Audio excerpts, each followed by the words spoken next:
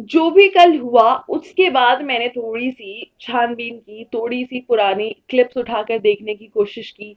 थोड़ा सा मैटर को समझने की कोशिश की कि आखिर अर्शी पर इतने बड़े बड़े आरोप क्यों लगा रहे हैं विकास गुप्ता? ब्लैकमेलिंग जैसा आरोप क्यों लगा रहे हैं?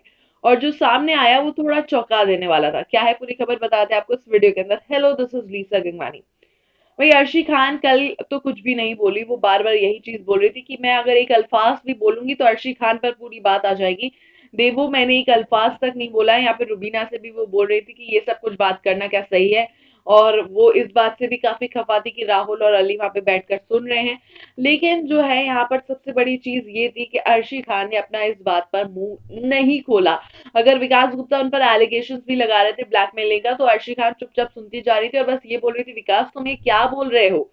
लेकिन अब जो चीज़ सामने आई है, उसमें दिख रही है अर्शी खान की एक क्लिप जिसमें अर्शी जो है एक ऑडियो रिकॉर्डिंग सुनाती हुई नज़र आ रही है। विकास की मम्मी की जहाँ पर विकास की मम्मी बोल रही हैं, अरे वही प्रॉपर्टी पर लड़ाई चल रही है। कह रहा है, देहरादून वाली प्रॉपर्टी बेच दो, देहरादून वाली प्रॉपर्टी सेल आउट कर दो। और यही दिक्कत चल रही है मेरे ट्रीटमेंट के लिए, मेरे इलाज के कह रहा है प्रॉपर्टी सेल आउट कर दो। तो ये जो क्लिप है, ये जो ऑडियो क्लिप है, सुनाई है अर्शी खान ने, और अर्शी खान इसको सुनाकर कुछ कहना चाह रही थी, लेकिन ये क्लिप बहुत शॉर्ट है। तो क्लियरली कुछ समझ में नहीं आया वो क्या कहना चाह रही थी। लेकिन ऐसा लग रहा है कि इसी क्लिप का अब यहाँ पर है संबंध घर में चल रहे इस मैटर से जो विकास गुप्ता ने उखाड़ा है कि अर्शी खान उन्हें ब्लैकमेल किया करती थी क्लिप्स सुना सुनाकर।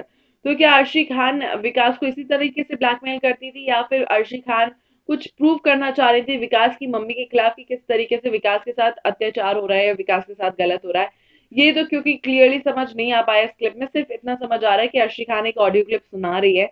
तो ऐसे में यहाँ पर कौन है सच्चा, कौन है झूठा, कौन क्या कहना चाह रहा है क्या विकास जो कहानी सुना रहे हैं, उसमें अर्शी पर ब्लैकमेलिंग के आरोप लगा रहे हैं, वो सच है या फिर Arshi Khan all the time उनकी हेल्प ही करेंगी? जैसे अर्शी ने कहा कि मैं तीन तीन घंटे इनके साथ वीडियो कॉल पे बैठती थी ताकि ये जो है इसको साथ मिले। He used to, let he used to make me sit on video calls for लेकिन मैं चुपचाप बैठी रहती थी। तो यहाँ पे कौन सच्चा, कौन झूठा, आपको क्या लगता है? आइए करते हैं कमेंट सेक्शन में इसी की चर्चा। लगातार हमारे साथ बने रहिए। और भी कई खबरें हैं, कई एंटरटेनिंग अपडेट्स हैं जो हम आप तक पहुंचाते रहेंगे।